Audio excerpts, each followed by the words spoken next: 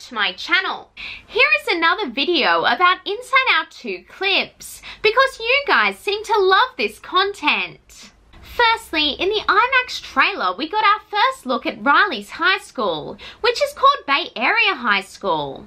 It definitely has San Francisco vibes, with the red doors and window frames reminding me of the Golden Gate Bridge.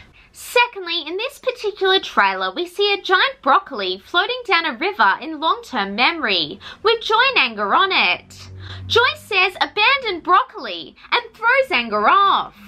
In the first movie, it is made clear that Riley hates broccoli, so this has to have some sort of deeper meaning. In the Japan version of Inside Out 2, this giant broccoli will need to be replaced by bell peppers, like in the first movie. Thirdly, there is a shot of Riley walking behind Val and her friends trying to mimic them. Envy clearly made Riley do this, and Disgust pulls her off the console to stop her, saying, What are you doing? Fourthly, an Instagram video shows Joy's reaction to anxiety showing the horrible things that could happen to Riley on her laptop. Joy says, again, love the energy, but you're being silly. None of this will actually happen. She tries to push the laptop down, but fails miserably.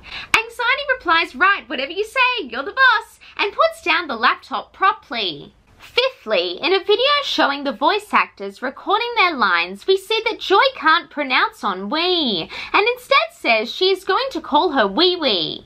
Ennui unimpressed, dryly says no. Finally, a TV spot has revealed a CG look at nostalgia, and she looks really cute. I especially love her rose-coloured glasses. She walks out of the New Emotions door and says, remember when we all finally came up to headquarters? Anxiety says nostalgia, and Ennui says that was like 30 seconds ago nostalgia. Nostalgia replies, yeah, those were the days.